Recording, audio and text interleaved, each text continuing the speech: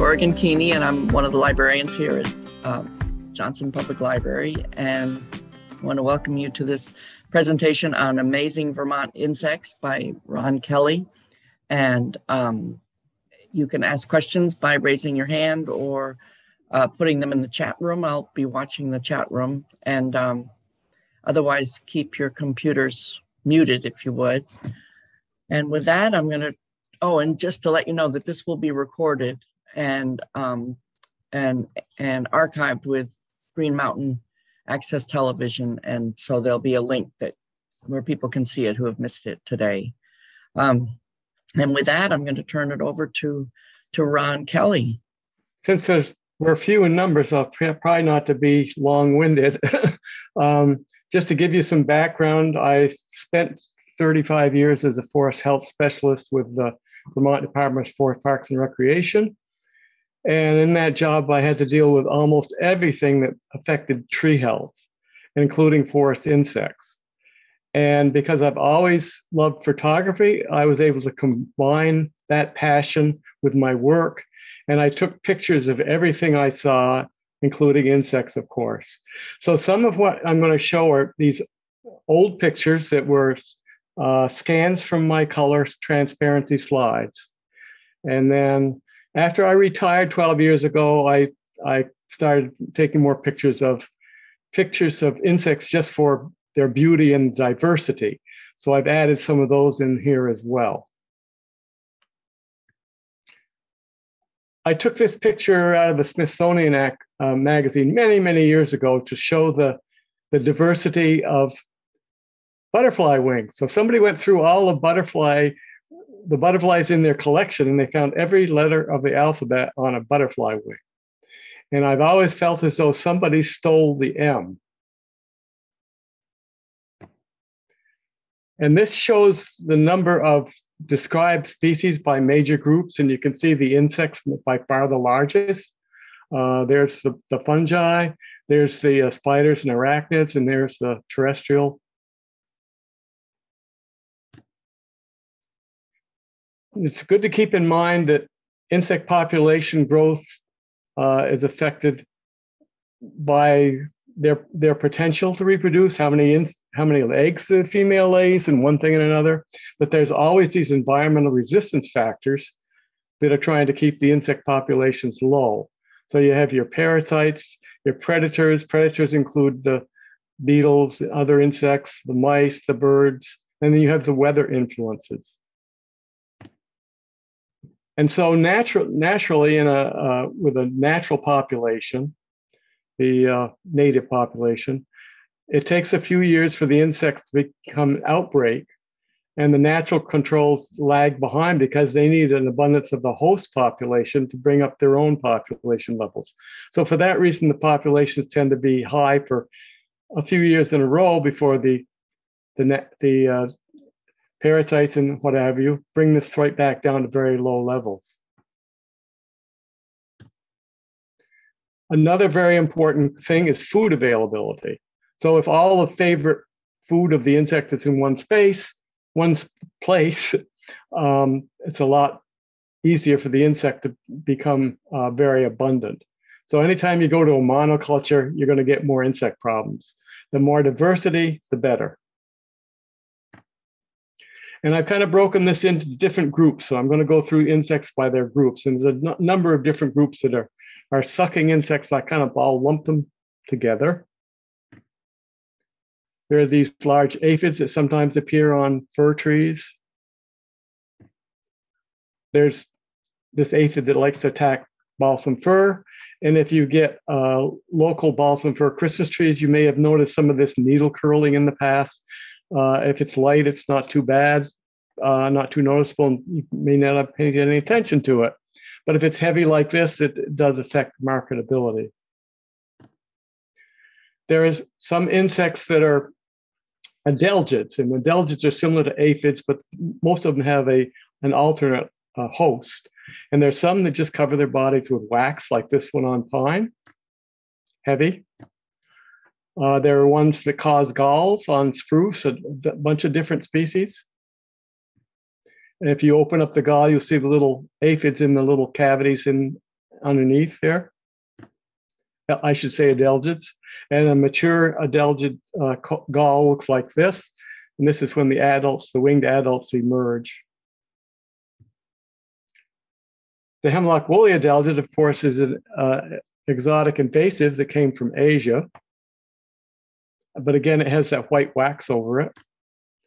Uh, when they first hatch, you just see this little black dots on the stems. But their feeding causes dieback and sometimes tree mortality. And it came into Vermont in the early 2000s. And this is an old slide where they were located in 2008. Um, they spread a little bit further north since then, and they've also spread over into Bennington. But the state has been releasing predators such as this one to help control them. Uh, only long time, long term will we know how successful that is. They are affected by cold winter temperatures and are killed when winter temperatures exceed minus 22. That certainly didn't happen this year.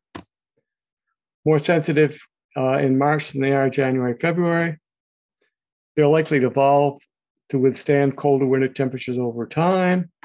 And with global warming, that's going to have a positive effect on their northward movement. There are also scale insects that are sucking insects that have this little protective cover over the, top, the top of their body. There's lots of those. I'm just going to show you one, Lecanium scale. Uh, this was heavy on Butternut Mountain area of Johnson a number of years ago. Uh, when the scales feed, they produce this honeydew that drips down and it lands on the foliage down below, like you see here. And you may get sooty mold growing on it, but that's just a secondary fungus, nothing to be concerned about. Then there are midges and mites, which are in the fly group. There's this Erineum gall mite that's kind of fairly common on sugar maple. Uh, looks terrible, but isn't too bad. Doesn't really affect the tree that much. Then there's a bladder gall mite and a spindle gall mite. I'm trying to throw in things, throw, uh, show you things that you are likely to see on your own trees. Now I'm going to go into a life cycle of one particular insect that's a favorite of mine. Um, I still do some consulting for Christmas tree pest management. And this is one insect that I, I worked with a lot in the past. So it's a little midge that lays its eggs in balsam fir just after the, the bud sheaths come off. But this is really a tale of two midges because there's a, ne- a second midge that looks like the first that's actually a control for the first one. And when this was first identified, the scientists identified the wrong midge as the gall maker.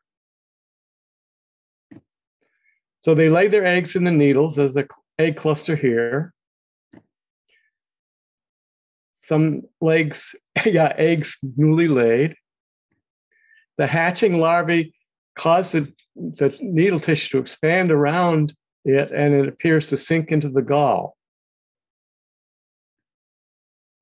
the good midge is attracted to the gall maker larvae and becomes enveloped with them in the gall. So as the good midge builds up, then it becomes more abundant. And this is what the galls look like. Needless to say, those brown up and fall off the tree. So when a tree is heavily infested like this, you're not going to be able to sell it.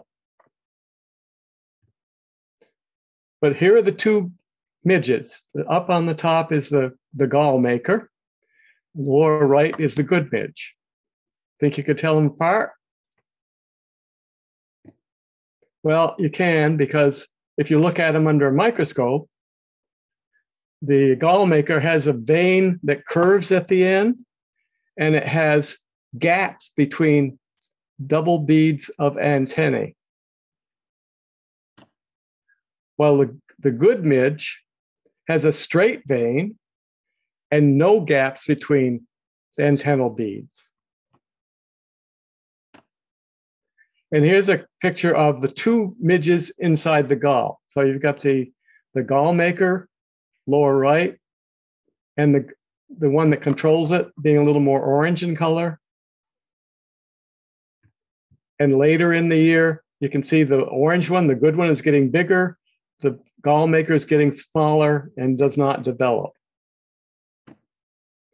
Even later, you see the same effect. So most of the gall makers exit the end of September, while the uh, good midge exits in October. And then they overwinter in the soil. Now we'll move on to beetles. Japanese beetle, I'm sure you're all familiar with that. I have a plum tree that they love. They also seem to love uh, my pole bean leaves.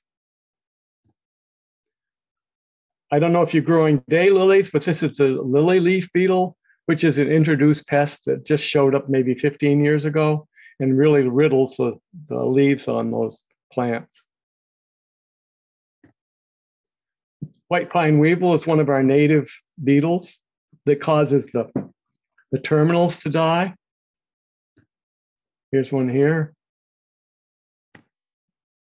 They lay their eggs just underneath the buds for this year's growth, and then the larvae tunnel downward and girdle that stem. And if you look, shave off some of the bark, you can see them in there. And they attack spruces as well as pines. If you catch it early enough in the year, you can prune out the infested leader, and at least kill them so they won't develop for next year. If you don't do that, you can get what we call a cabbage pine, many, many leaders instead of one good one. One of our native beetles that's really beautiful is the sugar maple borer. And I think I've only seen two or three adults in my lifetime. They cause this kind of a defect that you see on the sides of the sugar maple. And that little tunnel there is where the larvae tunneled across the grain of the wood. So they lay their eggs in the tree. There's the larva. There's a fairly fresh attack here. And that's what the larval uh, burrow looks like when they go deep in the tree to pupate. And there's a very old scar there, but that's still sugar maple borer. So they're going to be more successful on the slow growing stress trees. And here's a tree that was attacked in 86. Uh, it was thinned in 79, but not soon enough to prevent the attack. And then later on, the growth rings got much, much better. So that it should be much uh, less susceptible in the future. The Asian longhorn beetle, of course, is one that the sugar makers are concerned about. Another one from uh, China. Ron, could, could you go back to that former slide? And I don't understand why um, the growth rings um, they're they're bigger after 86 and you said there it would be less apt to be attacked why would that be yeah, well after the trees were thin it took a while for the tree to respond to that thinning oh, so it was still vulnerable to attack in 86 but if you look out at 94 it, it's doing much much better so why did the thinning help? Um, why would that prevent a future attack? Gives the tree more room to grow. So trees are always competing with one another. That's why we thin them. No, That's I understand that, but I was trying to understand why, uh, if it had anything to do with the, the success of the tree growing, does it have anything to do with whether it's going to be susceptible to this um, pest?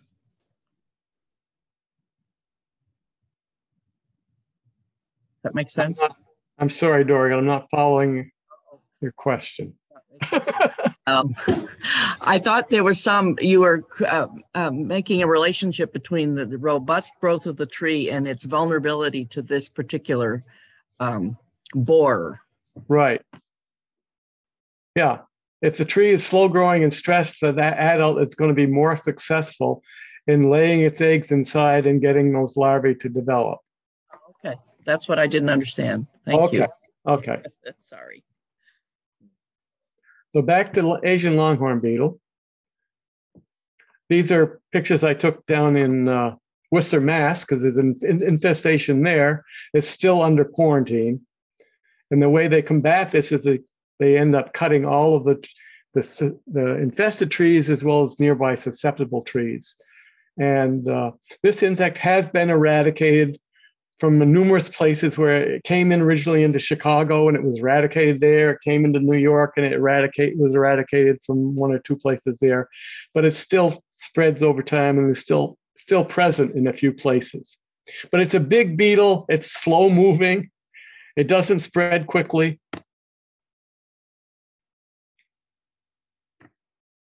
And it's much bigger than our native uh, beetles in this group. There's a native Sawyer here. That's what that one looks like, which which uh, attacks recently dead or recently killed wood, not live trees. Branch dieback due to Asian longhorn beetle. Was introduced from infested woodpacking material on, on ships. Adults emerge in May to August, lay eggs in pits chewed through the bark.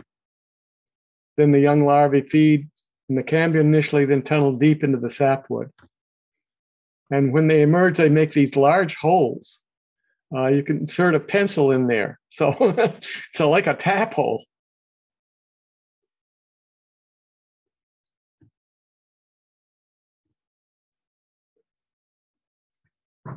and so it you know it can lead to tree death but uh, it has as i said it has been successfully eradicated from several locations the emerald ash borer on the other hand that's another china pest and that threatens all ash trees in north america in fact it's pretty well distributed through all ash trees in north america now and when it was first discovered in michigan in 2002 the documented information on it only could fit, could fit on just one page of paper because all of the uh, technical records were destroyed during the Cultural Revolution. So I spent a week in Michigan in 2006 when it was still pretty much confined to Michigan, trying to learn what I could about this insect. And so these pictures are all some I took out there. The adults can fly one and a half to two miles, so that's better than the Asian longhorn beetle. They're present from June to August, and they feed on ash foliage. This picture of mine is one that they show a lot on WCAX local television when they talk about this insect. And in Michigan, when I was out there, it was spreading at four miles per year. It had spread four miles per year in the first one to five years. One to six to 10 years, they expected it to spread 18 miles a year. And initially, stopping it spread through firewood was the main goal because of course it can spread long distances by firewood and so i'm sure we slowed the spread by by not allowing uh, outside outstate out of state firewood into the states but uh, now the insect is here.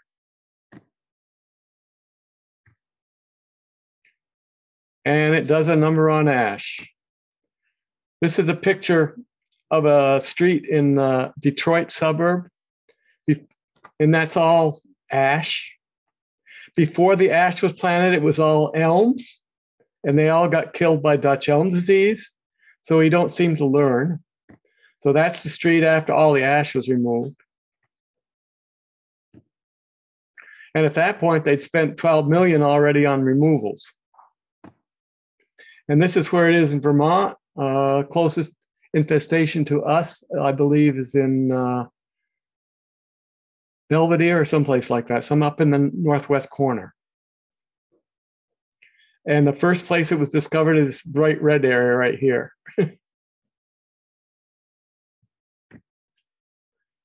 so the most important diagnostic symptoms of this disease are the D-shaped exit holes. And if you peel the back bark back, all of the larval tunnels underneath there that are causing the tree to be girdled. And then the woodpeckers will go after those larvae. So if you see a lot of woodpecker activity, that could be a tree that was infested. The only hope for this insect is introducing native parasites that came from China. There are several of them that are being released. Some are, are egg parasites, some are larval parasites. And they seem to be having some effect, but we won't know uh, for a lot many years how effective they are. So I think the strategy right now is to remove the large trees that would be heavily infested and produce huge populations of the, the uh, ash borer. And then hopefully these things will begin to control it when the population levels are lower on the remaining trees. I have a question. Yeah. Regarding these these um, pests that are being introduced from out of the country or out of it sounds like over in Asia. The, the and from their native range, yeah. Yeah. So is there concern that they might cause other problems, you know, as they get rid of nowadays they go through a rigorous testing process to make sure they don't affect any non-target insects. You know, many, many years ago, this was a big problem sometimes for things that were brought in. Yeah. Uh, but this they they have to go through rigorous testing nowadays before they're released. Good. And just to show you some other in, other green insects, so there's the emerald ash borer. Uh, most of these are going to be bigger. Uh, the, one that most people confuse with it are the tiger beetles, like the six-spotted tiger beetle, and those are very common.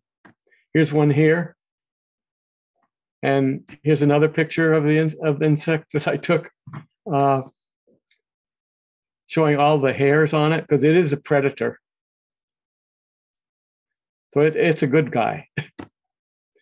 and uh, in the beetle group, um, here's one that even feeds on pollen that's in that longhorn beetle group, the same group as Asian longhorn beetle. And there are insects that are opportunists. Best example of that are the bark beetles. So they'll build up on recently dead and recently killed trees and when they get their population built up to significant levels, then they can sometimes attack uh, live trees, especially stress trees like drought stress trees. A great example of that is the mountain pine beetle in Colorado. Uh, this is a picture I took a few years, quite a few years ago, near Vail of a lodgepole pine killed by the mountain pine beetle.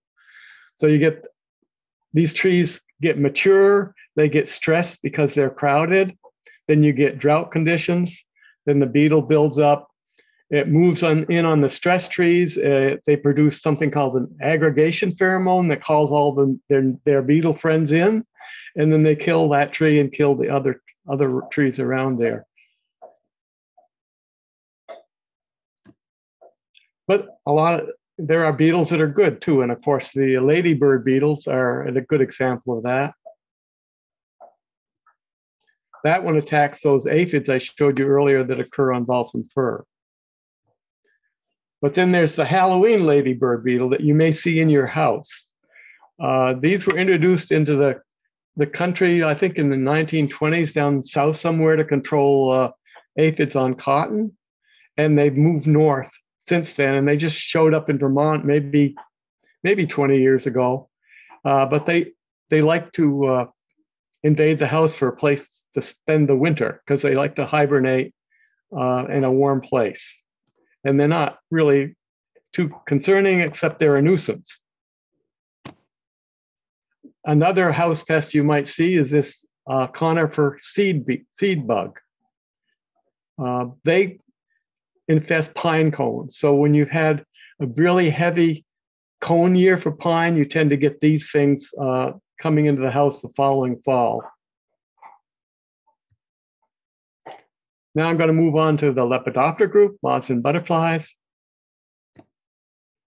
The gypsy moth is one of our oldest introduced pests because it was brought into Boston area from Europe way back in 1869.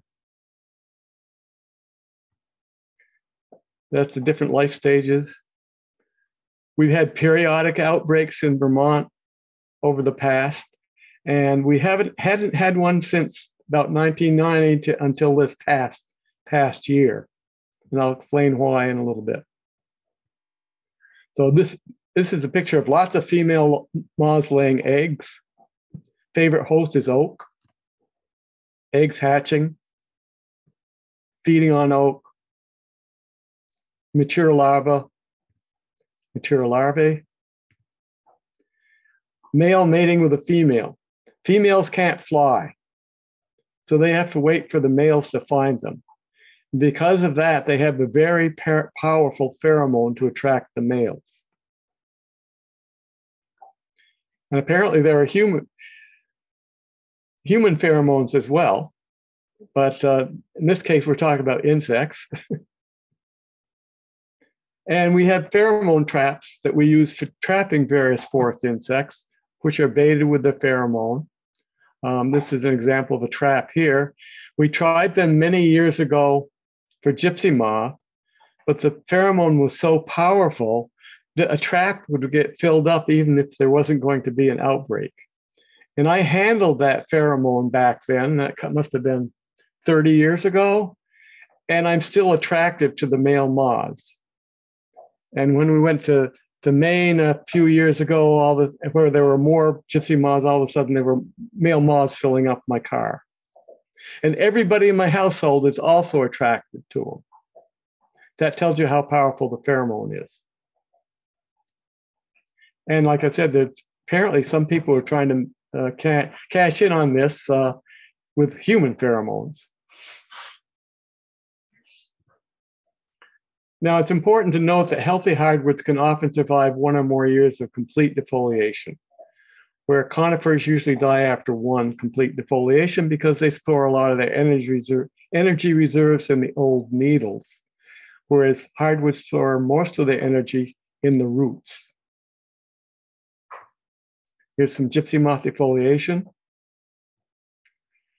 Here's an example of refoliation. These new little leaves, uh, yellower than the original ones, come out a few weeks after the tree is heavily defoliated.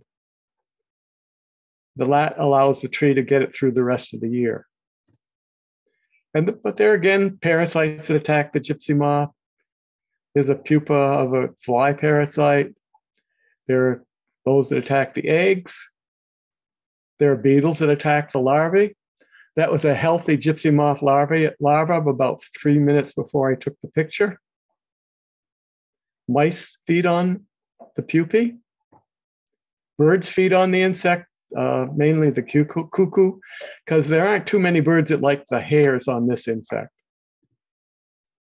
There's viruses that kill insects, including gypsy moth. But the most important control is this one, a fungus called Entomophaga maimaiga. This was introduced into Boston area in 1910, hoping that it would be a biological control for gypsy moth. But it didn't show up in Vermont until 1989.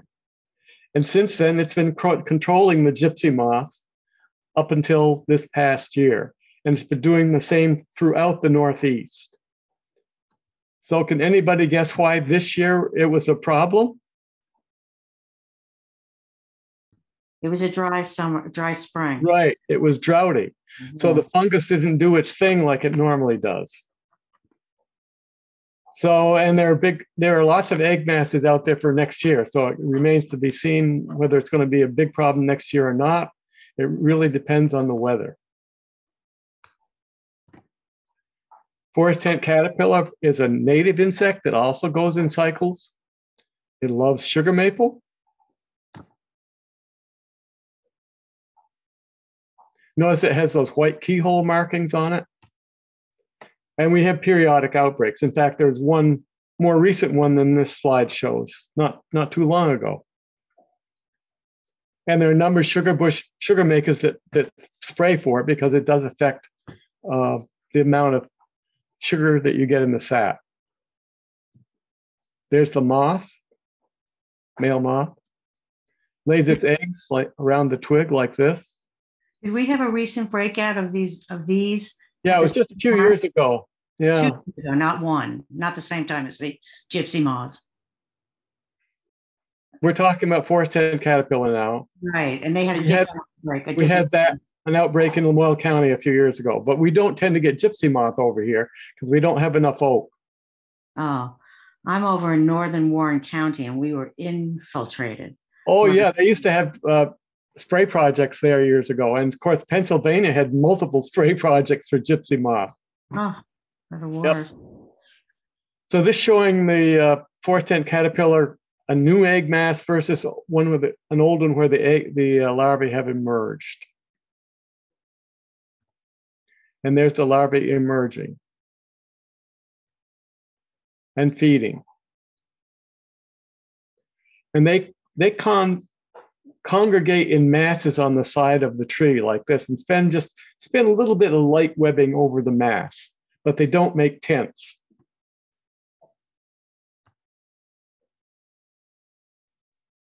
They spin up a pupal case in the leaf.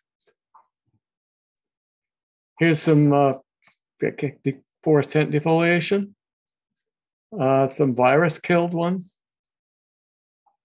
One of those Calosoma beetles attacking a larva. A stink bug.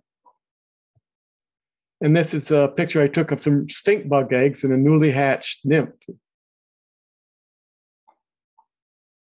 parasitic fly, pupal case. But the number one control agent for forest tent is the friendly fly, so called because they like to land all over you. And this one is on my big toe. So once the friendly fly gets built up, then they they're everywhere, and they end up bringing the population back down. I'm curious about a particular fly that stings. They look like normal house flies, or as you call them, friendly flies, but they bite. They're like little stingers. And I haven't seen them in Lamoille County. Again, I've seen them in northern Warren County. But there are lots of biting flies. You know, you're familiar with deer flies and horse flies, and yeah, these are small. There are smaller ones that the smaller ones that bite as well. Yeah. Well, they feel like they were introduced. I feel like they were introduced because they weren't around 40 years ago, and now they are infested? Don't, don't know. anyway, we we uh, we do successfully trap forest tent caterpillar, and this shows the the pheromone trap trap data just prior to the 2005 2006 outbreak. And nowadays, the material of choice for, for dealing with the forest uh, insect problem is this bacterium Bacillus thuringiensis, which is a naturally occurring bacterium, and it affects just the larvae of, of the insects that feed on it and nothing else. And in the old days, when I first got into forest pest control, we used helium filled balloons to mark the spray corners. And now today's, but uh, since then, things have gotten much higher tech. And everything is done by GPS, and it even shows you the uh, the spray patterns. Uh, this is a color infrared slide of the last gypsy moth project in 1990 that I was involved with. And it shows the, the brighter red means better, healthier trees. The gray means defoliated trees. So you can see it's a much more defoliated outside the spray blocks. And this was over in the Colchester area.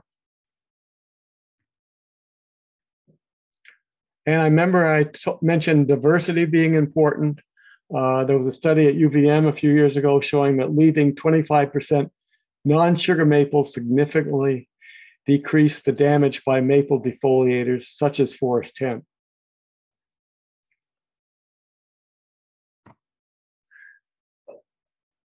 When, when I say tent people, tent caterpillar, a lot of people think about eastern tent caterpillar but it's a pest of fruit trees and cherry, and it does make a tent.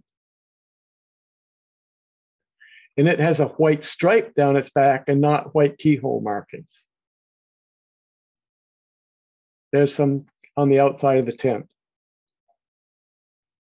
Uh, another forest insect, I'm not just to mention it's a fairly pretty larva called a prawn. It likes maple. Uh, but this one has an egg parasite is the primary control factor, and those eggs turn black. Maple leaf cutter is one that you may see uh, evidence of on your maples. Another sugar maple pest. The adults are little moths. They lay the eggs in the leaf, and they, the insect begins by mining the leaf. And then it cuts out of the mine, starts making holes in the leaf to make a case around its body. There's a larva with its head out for feeding. Some uh, damage, damage by the end of the year. So it's a, a gradual defoliation over the course of the summer. So it's not as serious as a pest that takes all the leaves off earlier in the year.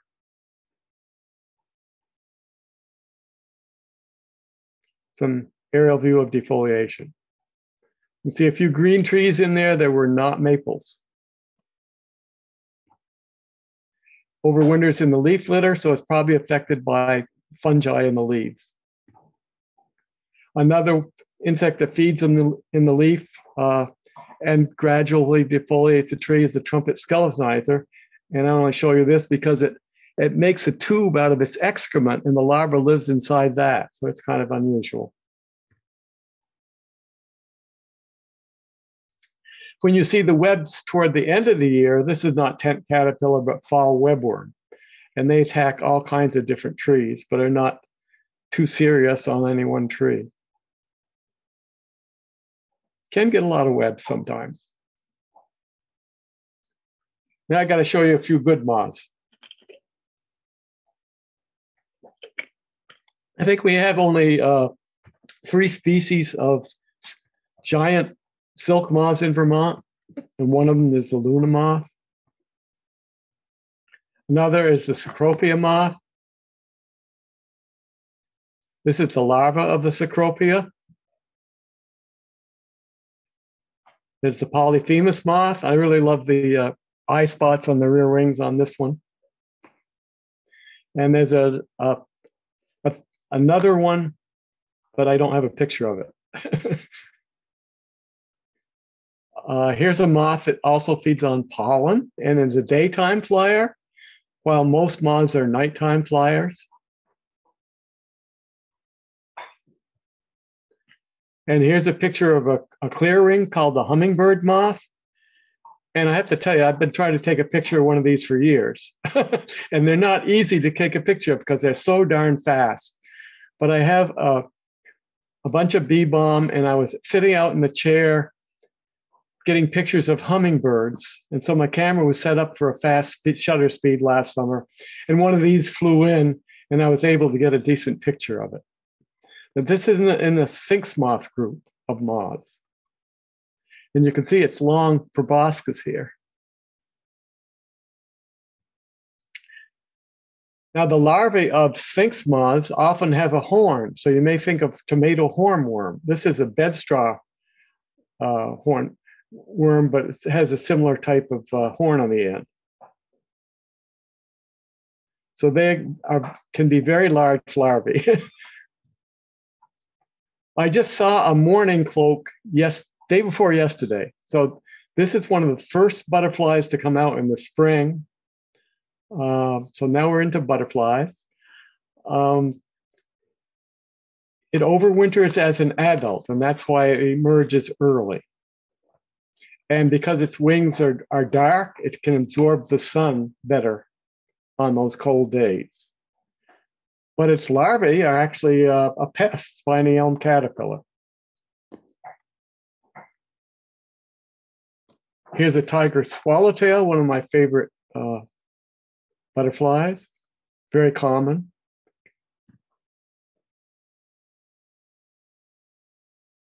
Here's a black swallowtail, quite a bit smaller than the tiger. But this is what the larva looks like. And it has this proboscis that it sticks out to ward off its enemies. So when I disturbed it, it did that for me.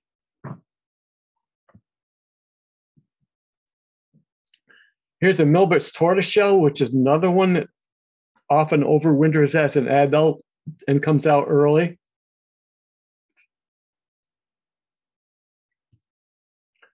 Uh, here's an Atlantis fritillary.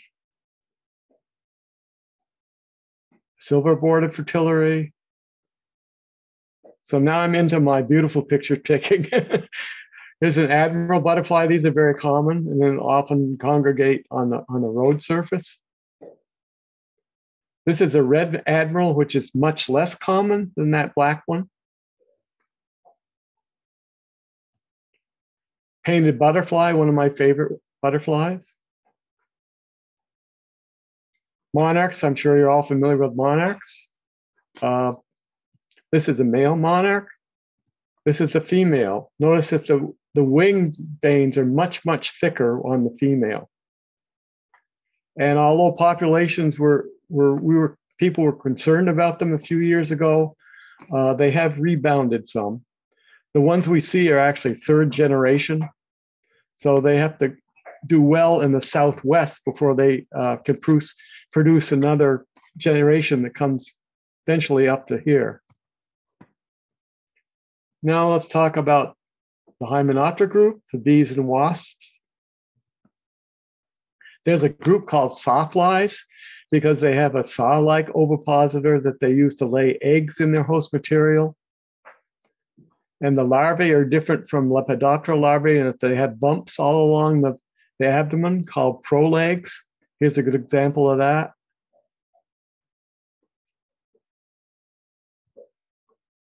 One you might see on your shade trees is mountain ash sawfly. Some early mountain ash sawfly feeding. If you have oaks, you might see oak slug sawfly. Then there's birch leaf miner, which is also a sawfly as an adult. Those insects mine the leaves though. And here's some inside a leaf and they can really brown up the tree. This is a pigeon tremex wood wasp. Uh, it's not a pest, but it attacks recently killed hardwoods like sugar maple or dead trees, dead areas on trees. But what's interesting is there this ichneumon wasp that goes after the larvae of the pigeon tremex, and it has this extremely long ovipositor it goes all the way around. It joins those pieces together to make a, a really effective penetrator into the wood to get after the wasp larvae.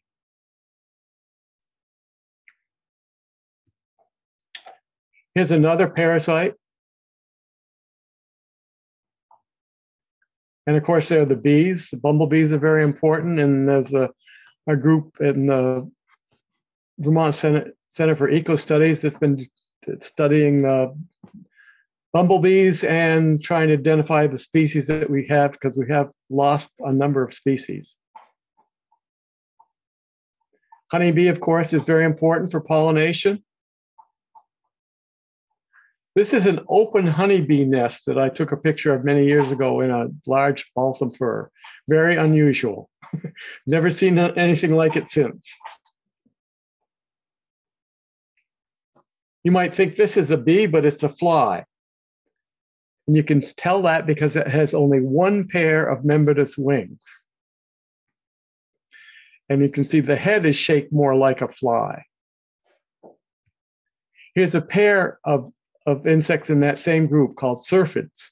And they, they produce larvae that feed uh, as predators on other insects like aphids but you can tell it's a fly because again it has just one pair of wings and where the back wings should be they have these little protrusions right? Like you see a yellow one here and a little one there?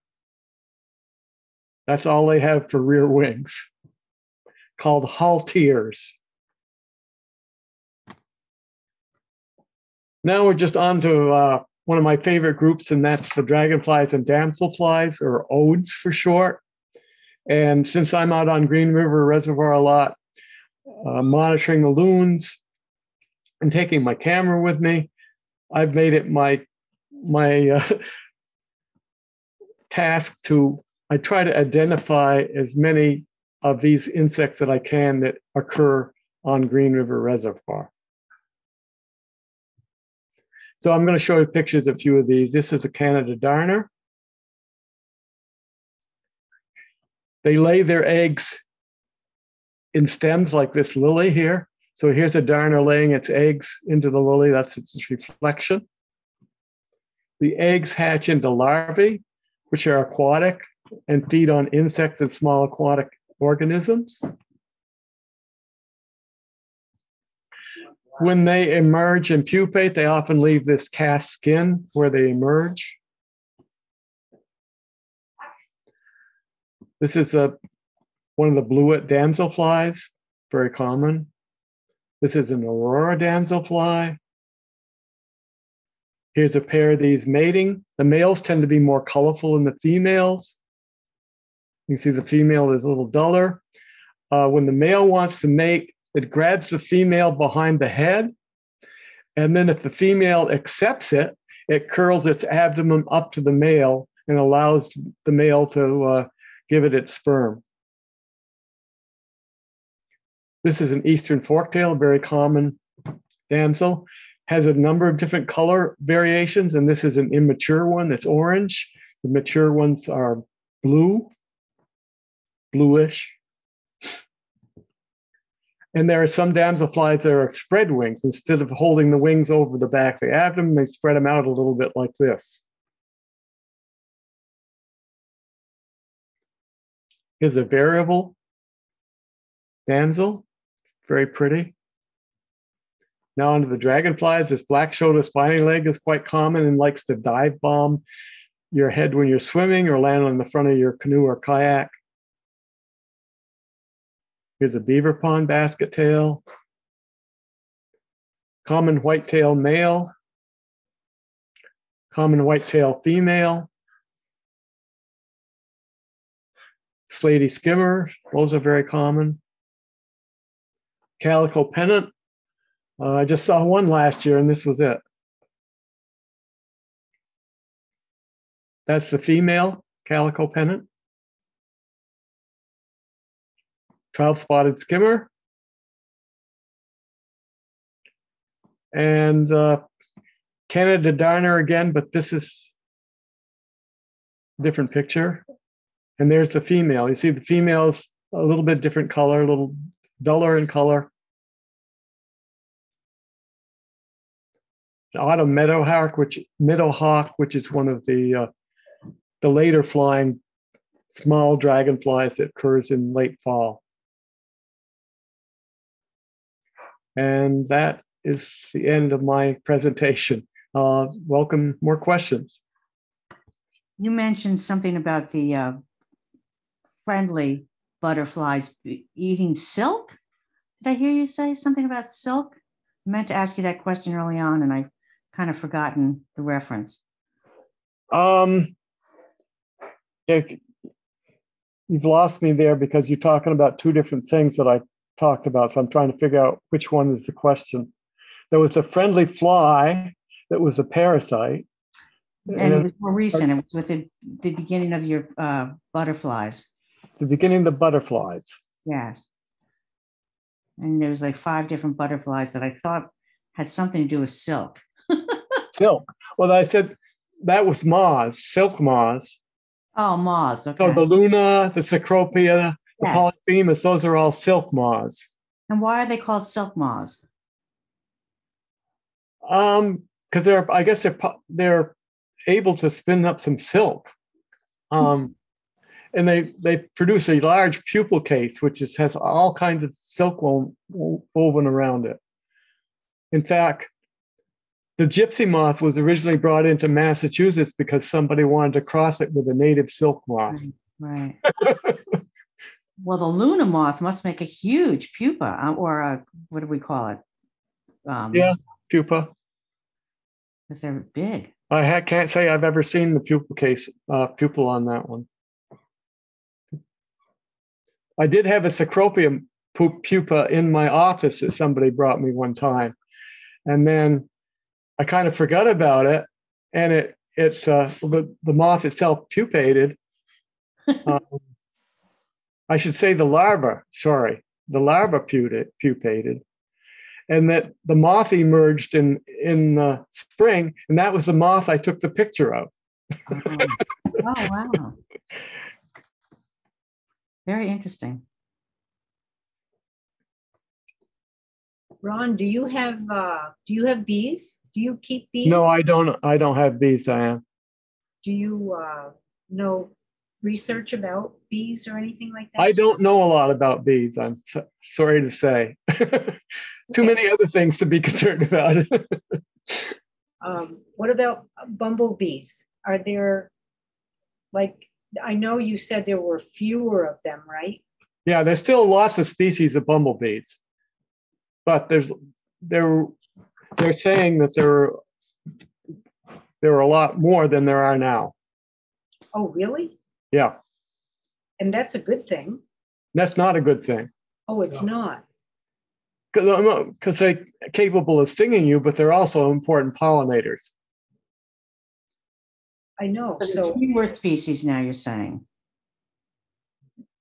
Fewer Yeah. species now than there used to be. oh, Yeah. I thought you said more. Sorry. Sorry. How many are there? I mean, I don't know. roughly.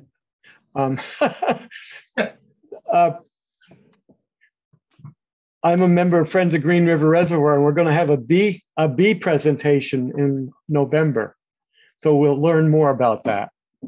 Great. Well, we get little bees um, around when our plum trees blossom.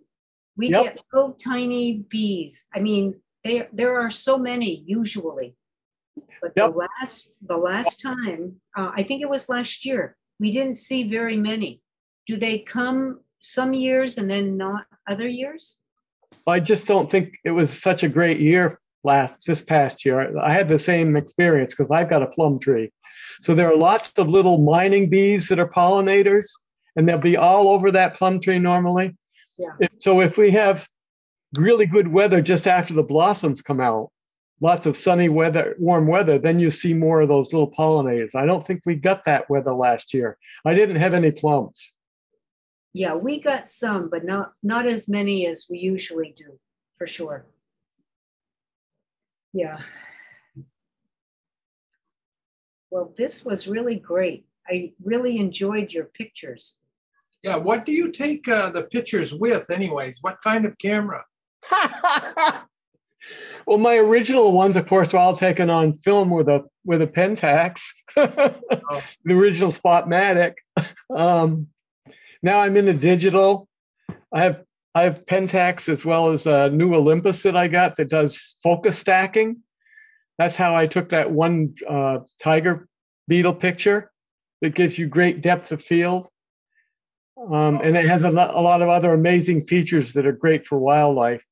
So I've got a super powerful telephoto for it now that I take a lot of my wildlife pictures with, as well as those insect pictures. Uh, the dragonflies I take with that telephoto also, because it, it focuses pretty close. And for example, I took the the uh, humming humming hummingbird moth picture with with a telephoto, that telephoto. Yeah, we've seen a few of those hummingbird moths uh, in maybe the past three or four years. I think we've gotten some every year for the past three or four years. Yeah, weren't we thinking it was actually a, a hummingbird? Yeah, Like a, is this a really tiny hummingbird? Do they get this small? Yeah, they just flit so fast from one flower to another. In the past, I I just start to focus on it and would go to another flower. They're hard to get. yeah, they're pretty cool. No. It, it was uh, disappointing when we found out it was a lowly insect instead of a bird.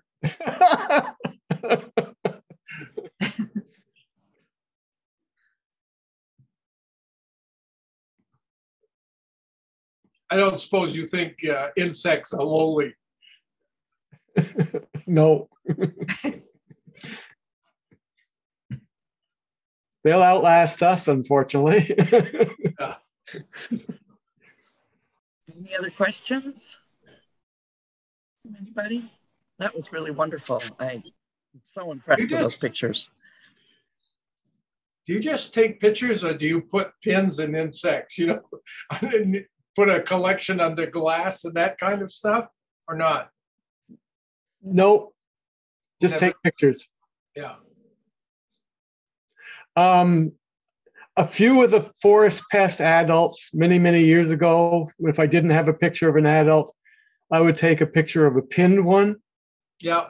and then remove the pin in Photoshop in the, in the computer. But uh, I didn't have to do that for very many insects. Thank you so much. This was, the pictures are great and so is the information. I, I really appreciate you and your, and the time you put into this. This was wonderful. Thank you. Oh, okay, thank you for attending. Thank you. Thanks, Thank you so much. Thank you so much. And thank you, Dorgan, for putting it together. Appreciate it. Thank you. Bye, everybody. Again, Everybody. Yeah. Bye. 拜拜。